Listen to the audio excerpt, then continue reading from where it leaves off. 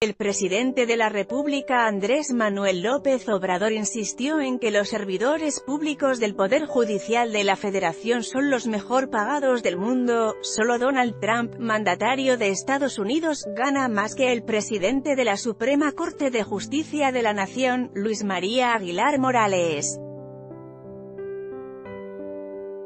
No tengo la menor duda de que son los servidores públicos mejor pagados del mundo, solamente Donald Trump gana más que el presidente, con todo respeto, de la Suprema Corte, entonces, nosotros vamos a respetarlas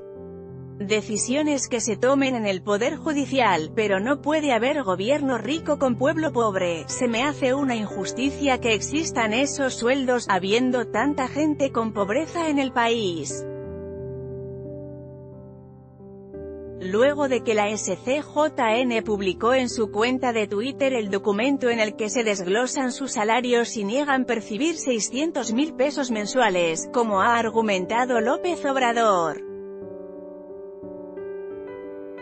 El tabasqueño señaló que si no son 600.000, deben ser 500.000 y si no están registrados los excedentes al sueldo bruto en la nómina, es porque no están fijadas las prestaciones anexas, tan solo en el presupuesto público destinaba el gobierno cerca de 7 millones de pesos al año para pagar la nómina de los altos funcionarios públicos.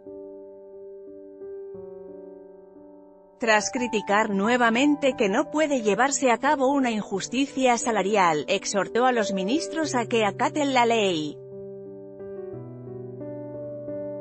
Vamos a pedir que los demás acaten la ley y nosotros vamos a gozar de impunidad, eso no, ya lo dije es Estado de Derecho, no Estado de chueco y se tiene que respetar la Constitución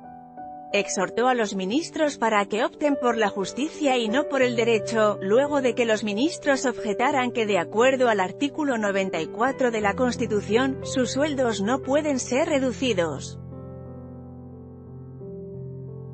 Se dice que cuando hay que optar por el derecho y la justicia, se debe decidir por la justicia, entonces, es un asunto de ellos, y también de la Constitución y las leyes.